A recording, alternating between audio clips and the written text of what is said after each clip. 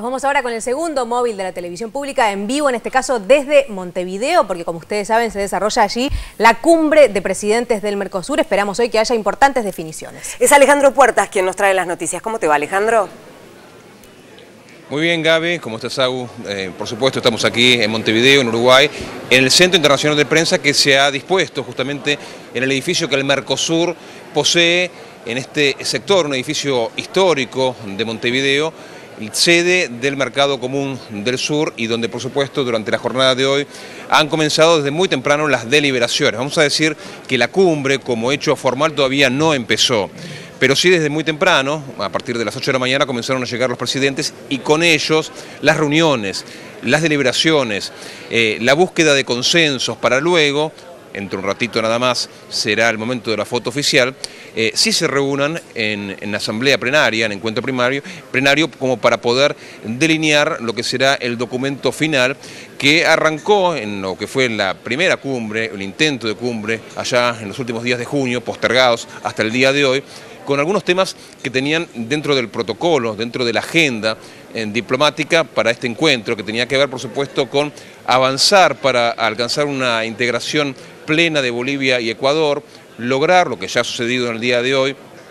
que Guyana y Surinam sean eh, socios del Mercosur estratégicos en lo económico eh, y por supuesto el tema quizás más tenso de la jornada dentro de la agenda eh, preliminar que era Paraguay y es Paraguay. ¿Por qué? Porque Paraguay continúa suspendida dentro de lo que es el Mercosur porque entendieron que el juicio político en aquel momento que destituyó a Fernando Lugo eh, fue un golpe de Estado. Eh, y es por eso, desde aquel momento, que eh, Paraguay se encuentra suspendido. Claro, ahora Paraguay tiene un presidente elegido constitucionalmente, que es Cartés, que va a asumir el, el 15 de agosto, pero claro, ¿qué sucede? El Parlamento de Paraguay todavía no votó afirmativamente a Venezuela como miembro pleno y Venezuela asumió hoy la presidencia pro tempore, Agustina. Sin duda, Ale, un hecho histórico que Venezuela finalmente haya asumido la presidencia pro tempore del Mercosur. Te pregunto por el documento final. En la reunión que se hizo ayer de cancilleres se avanzaba en la posibilidad de que sean duras las definiciones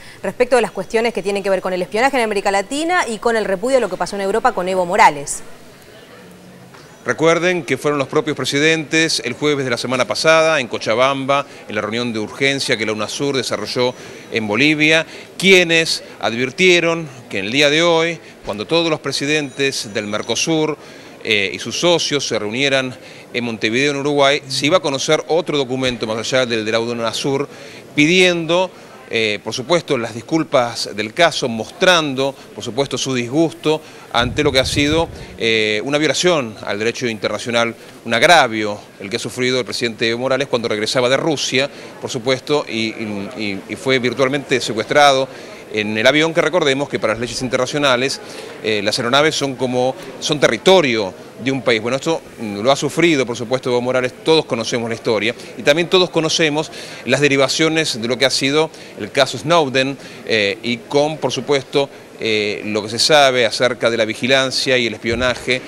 por parte de la inteligencia norteamericana en la región. No van a ser temas excluyentes, son temas importantes, temas que preocupan, por supuesto, a los mandatarios y que se va a ver reflejada esa preocupación en el documento final, de eso no hay ninguna duda. Por eso se estima que cuando llegue el momento de la conferencia de prensa, quienes se sienten, ustedes saben, eso se define dentro del plenario y son los propios presidentes quienes deciden, no hay un protocolo para eso, eh, em, será seguramente Pepe Mujica, país anfitrión de la cumbre, y Evo Morales, y no es un dato menor, porque eh, Bolivia no forma parte aún de manera plena del Mercosur, pero sí significa la importancia que le da el Mercosur al agravio sufrido por el presidente boliviano en Europa, Agustina. Bien, Alejandro, gracias. Volvemos con vos en cualquier momento.